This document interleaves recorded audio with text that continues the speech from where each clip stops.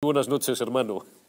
Pues estoy muy bien y veo que tenéis una mesa, como tú decías, muy calentita. Estamos incandescentes y eso que estamos todavía en la parte farragosa, en la parte técnica, en la parte jurídica. Ya verás cuando entremos en el, en el lío político. Oye, hazme una valoración general. ¿Tú cómo lo has visto? ¿Tú que tienes esto del análisis político desde hace 30 años como yo, por castigo? Que lo hemos compartido yo, no, yo, no voy, yo no voy a hacer eh, disquisiciones eh, jurídicas. Eh, estaba escuchando esta mañana a una exvocal del Tribunal Constitucional y, bueno, decía que hasta un estudiante de primero de Derecho es capaz eh, de decir que esto ha sido un auténtico asalto eh, al Tribunal Constitucional, a, la ley, al sentido común y, en fin, a, lo más sagrado que tenemos los españoles, que es nuestra justicia.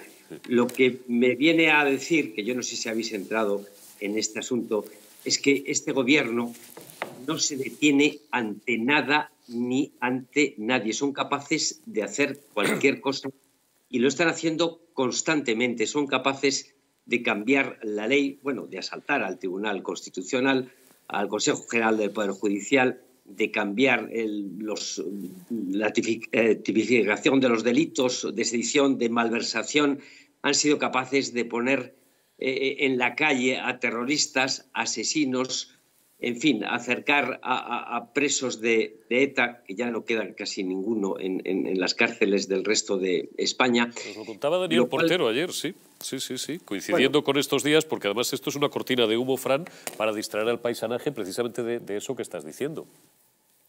Eh, Eurico, lo que me preocupa de este gobierno, como decía, que no se detiene ante nada, que son capaces de hacer cualquier cosa, es cuál es la siguiente jugada que nos van, que nos van a, preparar y yo creo que tenemos que estar todos muy alertas porque son capaces, como digo, de hacer cualquier cosa. Eh, por ejemplo, con el tema, eh, vamos a ver, esta gente, eh, dentro de nada vamos a ir los españoles a unas elecciones en el mes de mayo y, ya prácticamente en un año a elecciones generales. En el tema de Indra, Indra, como todo el mundo sabe, es una empresa estratégica española que se encarga, aparte de, temas de defensa, de temas de tecnología, en fin, en definitiva, de contar los votos de los españoles.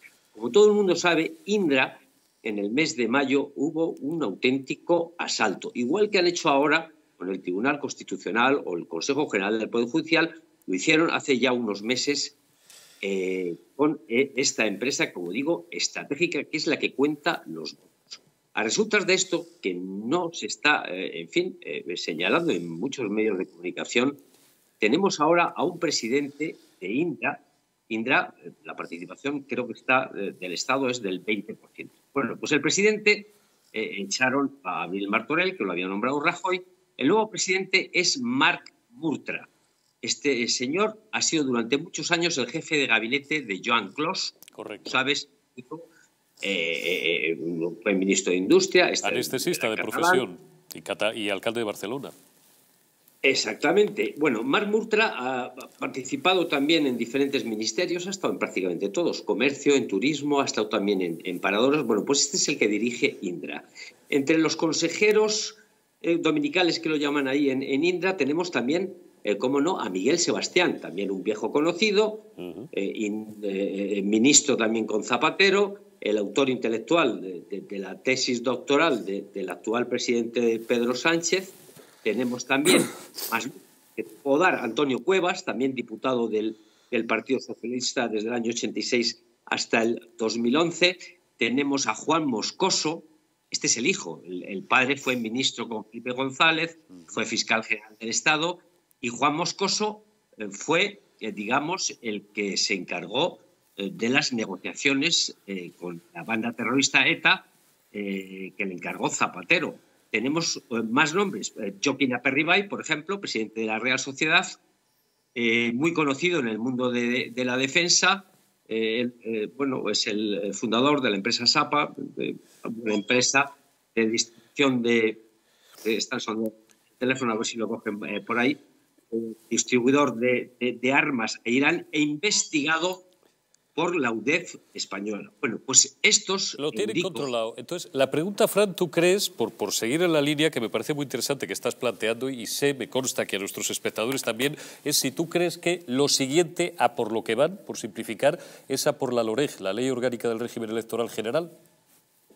Pues Eurico, eh, es que seríamos inocentes y pecaríamos de, en fin, de, ineptos si no sospecháramos eh, su siguiente jugada, porque Indra, Indra ha, estado durante creo que 15, 16 años eh, velando por las elecciones en Venezuela, ni más ni menos. En Venezuela tuvieron ya desde el año 98 creo un contrato de casi 200 millones de dólares y pues ya me dirás tú cómo han sido las elecciones. Es que los pasos que ha ocurrido en Venezuela los estamos viendo aquí. Ya lo hicieron en, Venezuela, el, chavismo. Eh, bueno, pues allí ganaron las elecciones la oposición, ellos asaltaron el Tribunal Supremo, en fin, todas las instituciones. Eh, hay denuncias, quiero recordar, de Giuliani, que es abogado de, Trump y que fue también eh, alcalde de Nueva York, donde apuntaba directamente a Indra como sospechosa de amañar las elecciones en, Venezuela a través de, empresas apuestas, el famoso Dominion, una empresa canadiense, en fin, eh, Eurico, eh, yo desde luego, a mí el cuerpo, con, toda esta gente que te he nombrado, todos estrechamente ligados. Me dejas preocupado, Fran. Pues, pues, pues, ¿qué te voy a contar? Pues muy preocupado muy preocupado. ¿Y no será porque tú y yo, 20 años que nos tiramos en, una gran empresa de comunicación, no las vimos de, todos los colores? Porque ahí, ahí las veías pasar todos los días por delante. Pero yo, no sé, no tengo memoria, tú y yo que empezamos juntos, no tengo memoria yo de haber vivido un momento tan extraño y a la vez tan peligroso como este.